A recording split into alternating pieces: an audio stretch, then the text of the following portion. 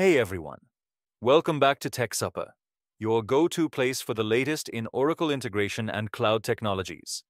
If you're excited about Redwood application extension terminology, hit that like button and subscribe for more tech insights.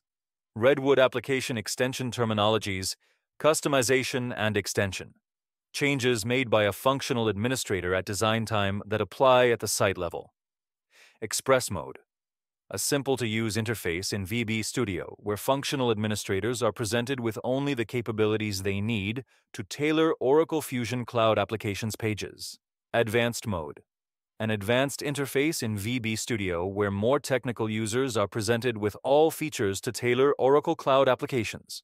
This isn't supported by HCM, SCM, and procurement. Autocomplete Generic term to designate the functionality to default and validate field values. It's product agnostic.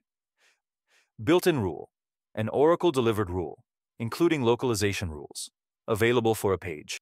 Business rules, a feature of Express Mode in VB Studio used to personalize Redwood pages, including defaulting and validating field values.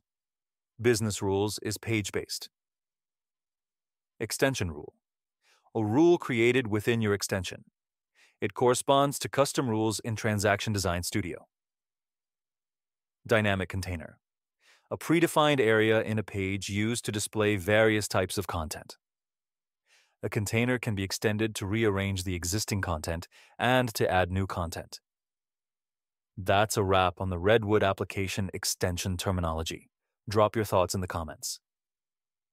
And if you found this helpful, don't forget to like, subscribe, and hit that notification bell so you never miss an update from Tech Supper.